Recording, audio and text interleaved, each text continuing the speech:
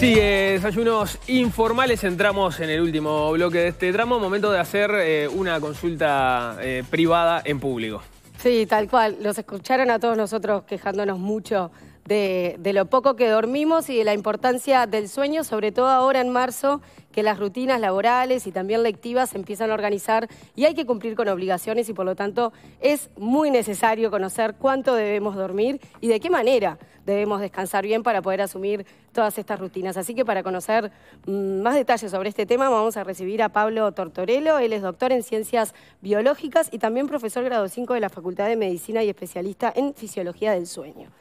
Muy buenos días y gracias por estar aquí. Hola, ¿qué tal? Gracias, Bienvenido. Bienvenido. Un gusto. Siempre eh, está volando en el imaginario con- colectivo que lo importante es dormir ocho horas al día. ¿Esto es correcto? ¿Qué, qué podemos decir de esto? Eh, bueno, eh, primero, la cantidad de sueño necesaria depende de la edad. ¿no? Lógicamente, un recién nacido necesita mucho más sueño, digo, todo el mundo sabe. ¿no? Si ese nací- nacido todavía nace prematuro, todavía necesita mucho más. ¿no? Claro. Entonces, la cantidad de sueño va cambiando a lo largo de la edad y la las personas, a medida que, que son más ancianas, digamos, necesitan cada vez menos sueño. O sea, eh, digamos que un joven adulto necesita así 7 horas y media, 8 horas de sueño para, para estar bien.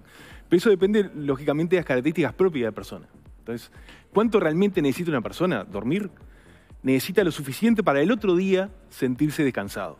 Hay personas que necesitan menos, hay personas que necesitan más. En promedio son siete horas y media, ocho horas para un joven adulto, digamos. ¿no?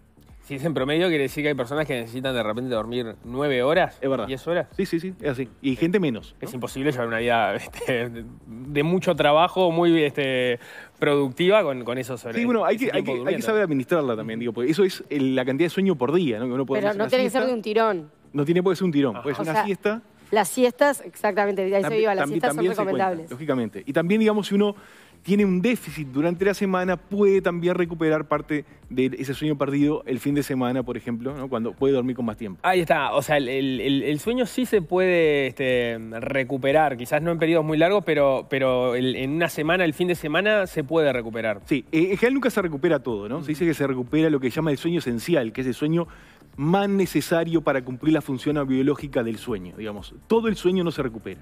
Este, pero digamos, gran parte sí uno puede llevar una vida relativamente normal si no tiene un déficit, déficit grande de sueño, ¿no? ¿Y cuáles son las consecuencias de dormir poco, como probablemente hacemos nosotros, que estamos en el rango de las 5 horas, 6 de sueño de lunes a viernes? De- Decilo con cuidado porque nos puedes deprimir, nos pueden retar en casa. Bueno, el dormir poco, como decía, depende, depende qué dormir poco y para, para quién, ¿no? De si realmente uno tiene un déficit de sueño que está todos los días estando mal, estando cansado, y eso se mantiene durante mucho tiempo, sí, genera problemas a corto plazo y a largo plazo, los problemas a, corto plazo son, todo el mundo los conoce, uno una noche no duerme porque sale por ahí, la día está cansado, tiene lo que se llama lapsus de atención, que es una de las cosas principales, de repente pierde la- no, no es que se duerme, pierde un poco la conciencia y sigue haciendo lo que se llama automatismo motores, ¿no? Que eso puede ser importante, por ejemplo, para un conductor, ¿no? Que de repente pierde un poquito la conciencia, sigue manejando y se pierde una curva, no hace una curva que tenía que hacer, por ejemplo.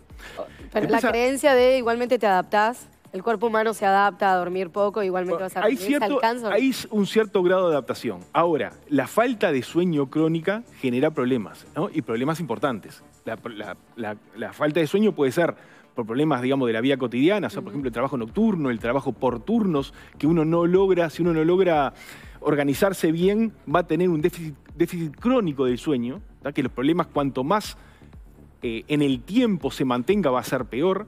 ¿tá? Y esos déficits crónicos sí generan problemas de todo tipo, ¿no? De toda la fisiología. Por ejemplo, a nivel cardiovascular, ¿no? O sea, puede tener más posibilidad de tener un infarto, por ejemplo, hipertensión, ¿no? Este, a nivel reproductivo, a nivel eh, psiquiátrico, es, muy común la depresión, la ansiedad, ¿no? Incluso a nivel de- del, del estado inmunitario, ¿no? Este, es una persona que mal dormida es más proclive a tener infecciones. Incluso cuando ese- esa, esa pérdida de sueño es crónica, ¿no? durante mucho tiempo, ¿no? Este, se ha visto que aumenta la probabilidad de ciertos cánceres, se ha visto que, ha visto que aumenta la probabilidad de tener una demencia, ¿no? del Alzheimer, por ejemplo. O sea, todo eso es déficit grave de sueño, ¿no? Que, es que, este, No, nos reímos uno porque uno no realidad, lo puede llegar a tener, vos- pero bueno, vos eso mantenido ante un tiempo este, puede, puede ser problemático, ¿no? Igual eh, vos dijiste, hoy, manejaste algunos conceptos que por lo menos para mí son nuevos en cuanto a lo que más o menos todos sabemos, como decía Ana, ¿no? Lo de las ocho horas y todas esas cuestiones. Eh, que, que el sueño, que el sueño, o sea, vos, por ejemplo, si dormís cinco horas en la noche y después haces una pequeña siesta, como que eso eh, se puede sumar de alguna forma. Eso en algunos momentos estaba bastante cuestionado, ¿no? Siempre se decía, no, la siesta esa parte. Lo que, lo que hay que hacer es dormir de un tirón porque el cuerpo necesita recuperarse en la noche, en fin. Ahora lo que sabe es que se calcula digamos, el sueño de las 24 horas, ¿no? O sea que el, el sueño, una siesta, ¿no? Además depende de qué tipo de siesta. Una siesta bien consolidada, digo, sin duda baja la presión del sueño. O sea, hay que ¿Qué quiere decir bien consolidada? Ahí está, vos tenés distintos tipos de siesta. Vos tenés una siesta cortita, de menos de, menos de 30, de 30 minutos, 20 minutos, que no te cambia la presión del sueño, que uno de noche va a dormir igual. Eso es importante para los que tienen problemas para dormir. ¿no?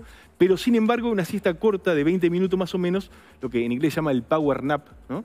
este, mejora la performance ¿no? en esa tarde. Uno ya está después del mediodía, muchas veces la presión del sueño se potencia después de comer. Este, uno la tiene igual, no esa presión del sueño después del mediodía, pero se potencia si uno come mucho, lóg- lógicamente.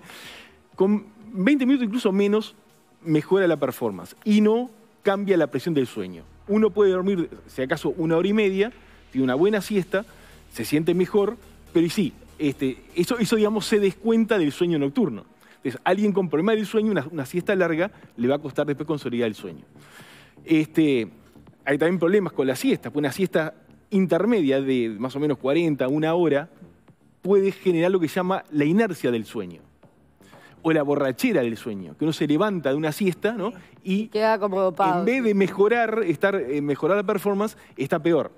Que eso también es importante también desde un punto de vista laboral, ¿no? que uno dice, bueno, estoy cansado, me doy una siestita, por ejemplo, de vuelta un conductor de, de camiones o de ómnibus, y sin embargo se despierta y está con esa borrachera de sueño. O, o sea que... Entonces la siesta buena es la o muy cortita o que O sea... todo un ciclo de sueño, ¿no? que es más o menos hora y media. O sea, Ah, que lo que si, sea. si tenés 40 minutos, 45 minutos, mejor calculala para hacerla de, de 20, 25 minutos. Sí, sí, sí, sí, si tu idea es seguir trabajando o, o de estar muy atento después, ¿no? Y ahí, eh, ¿cuán- cu- ¿cuándo tenés que empezar a contar el tiempo? ¿Desde el momento que te acostás y más que te dormís. tranquilo o desde que te dormís? ¿En qué momento te dormís? Claro, Ah. si te cuesta dormirte durante la jornada, ahí sí, capaz que tenés que cul- calcular un poco más de tiempo.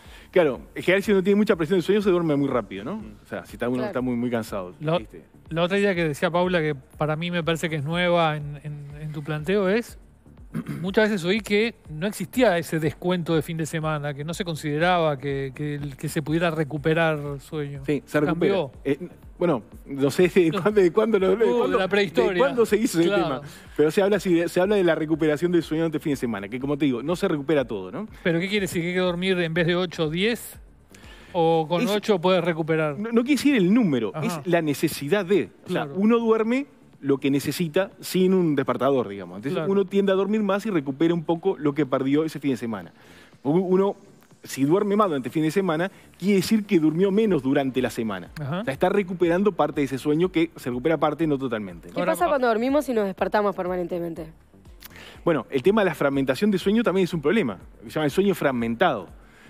Uno no logra consolidar el sueño. Por ejemplo, hay patologías que lo fragmentan mucho. Una muy conocida se llama la apnea del sueño.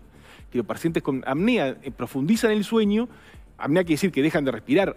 Generan la apnea obstructiva, que se le obstruye la vía, la vía, la vía aérea durante el sueño. Entonces, eso hace que el sueño se superficialice. Muchas veces se despiertan. A veces tienen micro despertares que ni siquiera se dan cuenta ¿no? pero no, no tienen un sueño profundo y lo tienen extremadamente fragmentado. Eso hace que al otro día se sienten muy cansados, a pesar que aparentemente hayan dormido ocho horas o quizás más, pero están siempre cansados. Y eso genera a largo plazo todos los problemas que venimos hablando, ¿no? si no se trata esa apnea del sueño. Este, la Bueno. gente tiene sueño fragmentado por otras cosas, ¿no? Sí, claro. Hijos pero en la casa, el por ejemplo. Mismo laboral, ¿no? O sea, un médico, por ejemplo, un enfermero que tiene que estar continuamente despertándose por O cachorros. por la guardia, o sea, porque lo llaman, o sea, la fragmentación del sueño hace que el sueño no se profundice y la función biológica del sueño no se llega a cumplir en su totalidad. Tengo una pregunta, ya entro a la terapia personal.